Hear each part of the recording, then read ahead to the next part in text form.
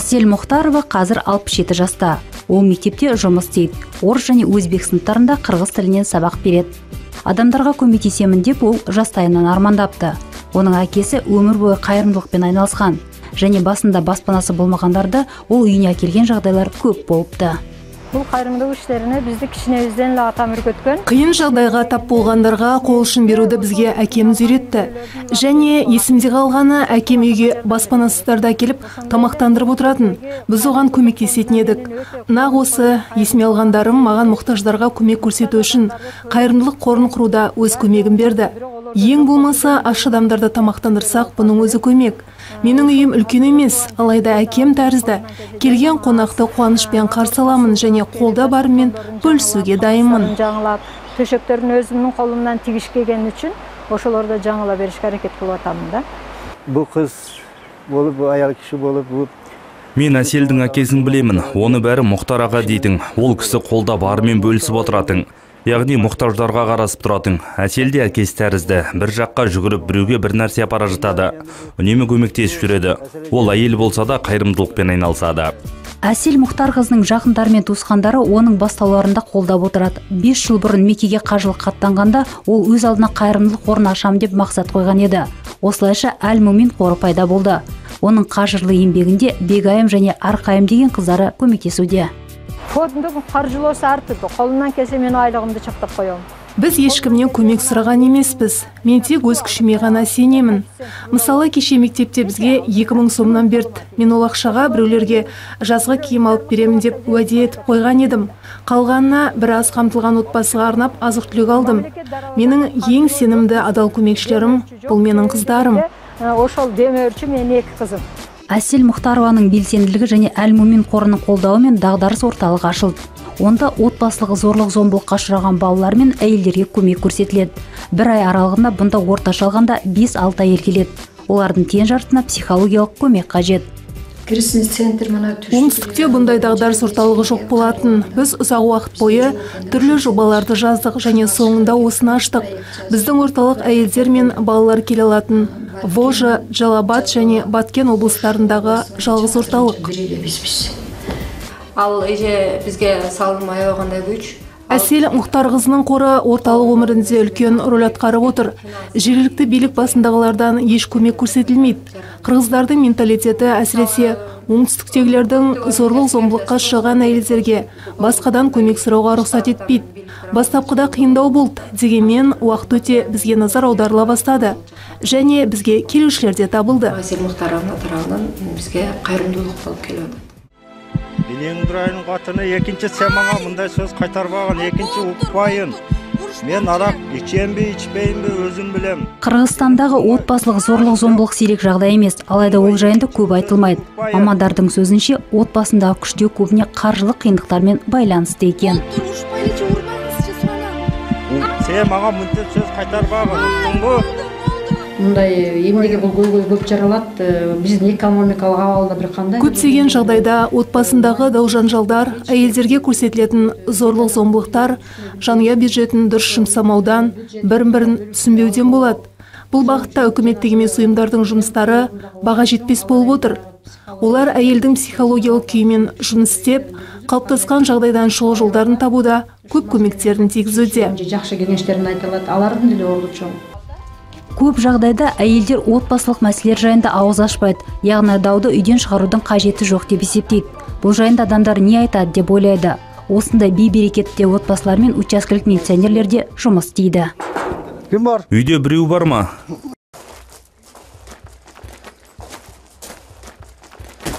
Бұл кеше мен бұнда кеше де келгенмін. Себебі өзінің күйеуі ұрып деген әйелден арыз келіп түсті. Кеше біз келген кезде күйеуі үйден қашып кетіпті. Бүгін солардың жайын білуге тағы да келдім. Отағасы келді ме жоқ па деп соны білуге келіп отырмын. Базар күні келіп кеттім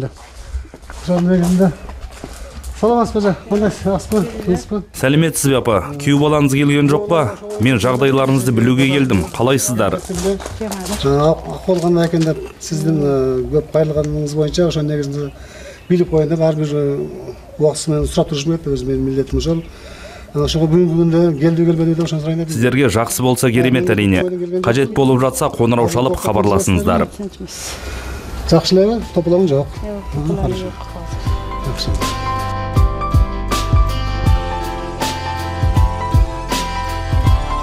Учаскелик милиционер алымкул жолдошовго күн сайын жайсыз отбасылар менен алдын алуу әңгімелерін жүргүзүүгө туура келет ойының айтуынша егер әйел өз күйеуіне қатысты арыз жазу тәрізді батыл қадамға барса да кейін оны бәрібір алып кетеді яғни қайта достастық деп. Отбасында зорлық зомбылыққа жиі ұшырайтын әйелдерге білікті психологиялық көмек қажет. Номерлерім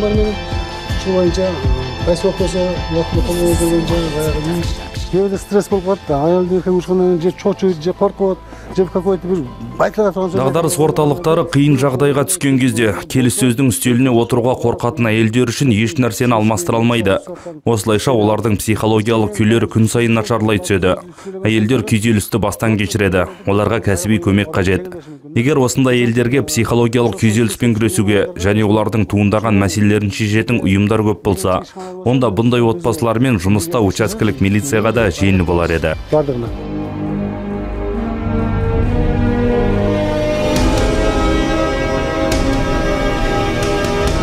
мына 27 жастағы әйел күйеуін өлтіргені үшін сотталған. Қылмысқа күйзеліс күйінде барған. Бәрі отбасында қаржылық қиындықтан басталған. Күйеуінің туысқандары оған жұбайының көп қаржысын жала жапқан. Ал жары өз кезегінде арақ ішіп оны соққыға жыға бастайды. Кезекті жанжал барысында өзін қорғамақшы болған келіншек қолына пышақ алған. Андан соң ошондой күндөрдүн биринде бир күн сол қырсық күні мен көршілерден қарызға азық түлік алып ол жұмыстан ашығып келет деп кешкі асты дайындап жатқан болатынмын. Ол мас болып келіп бәріне мен кінәлімін деп айқайға басты. Қолына шәйнекті алып сонымен мені ұрмақшы болды. Мен бұны күтпеген едім. Менің қолымда пышақ болатын кейін бәрі түстегідей болды ғой. Есімде қалғаны оның құлап бара жатқандығы. Есімді жинағанымда күйеуімді өлтіріп тастағанымды түсіндім. Үндөбөй чыкпай калды көрсө жан берген экен сол сәтте назира өзіне психологиялық көмек қажет екендігін білмеген еді. Достары мен туысқандары одан теріс айналып тіптен ой бөлісетін адам да табылмады. Мен ойлойм ошол убакта бизге кайгыңды тең бөлүшкөн жакын адамың дагы досторуң дагы тааныштарың дагы болгон жок егер сол кездерде маған біреу арнайы орталықтардың бар екендігін онда мамандарға жолығуға болатындығын айтып түсіндірсе менің өмірімде бұндай жағдай болмас еді. Тек маған ғана емес көптеген басқа әйелдерге де көмек қажет. Өз өзімен шоғырланып өмір сүріп бәріне шыдаудың қажеті жоқ. Кеңешип өзүмдүн әйгерім дағдарыс орталығына жалабат облысынан келген. Ол күйеуінің ұрып соғуына көнбей үйінен қашып кеткен. Әсел мұхтаровамен болған кездейсоқ кездесуден кейін ол осында қалған.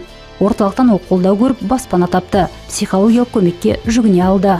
Барды барып бир жыл жакшы эле жашадык башында біз күйеуіміз екеуміз төрт жыл бойы кездесіп үлкен махаббатпен үйлендік.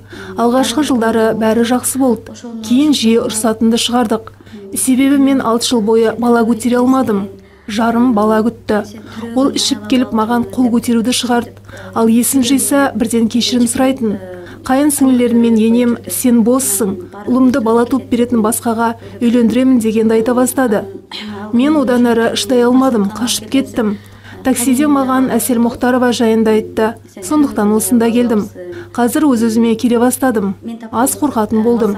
Осы үшін әсел апайға айтар алғысым көп. Бұнда келетін адамдар да аз емес. Олардың бәрі жақсы өмірге үміт артып кетіп жатады. Әсел мұхтарқызы бізбен бірге бәрін бастан кешіргендей күй кешеді. Бізге көмектеседі. Жашоомду түп тамырынан өзгөрттү деп айтсам болот қадамжайдағы дағдарыс орталығына қырғызстанның оңтүстік облысының тұрғындары ғана емес көршілес мемлекеттерден де адамдар келіп жатады. Себебі бұнда тегін психологиялық көмекке жүгіну мүмкіндігі бар. Ал мемлекеттік психологиялық мекемелердегі мұндай көмек 100 доллар тұрады. Әсел мұхтарқызы кейбір әйелдерге жұмыс табуға да көмектеседі. Күйөөлөрүнөн зордук зомбулук көргөндөр бізге келген әйелдердің көбінде күйеулері ғана емес туысқандары да ұрғандар бар. Дәл осындай жағдайға араван ауданының тоймойын ауылынан келген әйелдер ұшыраған. Олар осы жерден жұмыс таппақшы болды. Біз көрші шатханамен келісіп енді әйелдер сол жерде жұмыс істейді.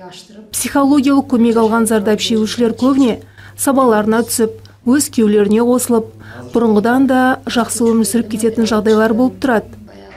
Біз біздің орталықта болғандардың ешқашан тегін атын айтқан емеспіз.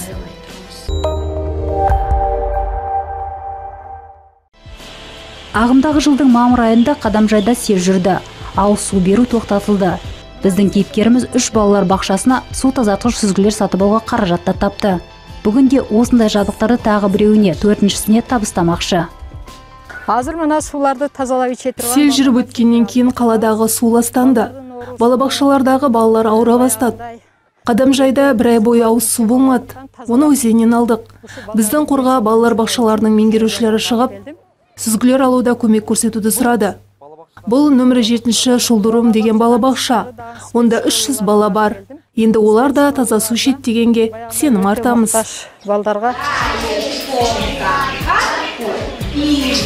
сенім артамыз балдарға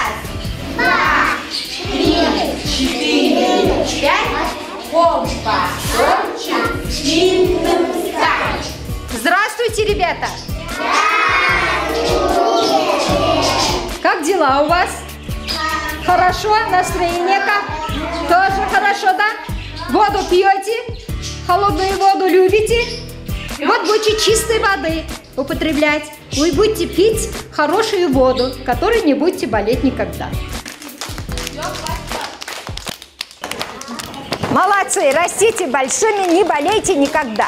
От имени всего коллектива, от всех наших детей выразить барлық ұжым атынан балалардың атынан осы қордың қамқоршыларына алғысымызды білдіреміз оларға алдағы уақытта жақсылық тілейміз ұлт және біздің балалардың құрметіне жасалған жұмыстары өркендей берсін Әзірше әсел мұхтарқызы қайырымдылық ісімен айналысып жатқанда қор мен дағдарыс орталығы есебінен ол көп ақша тауып жатыр деп есептейтіндер де бар.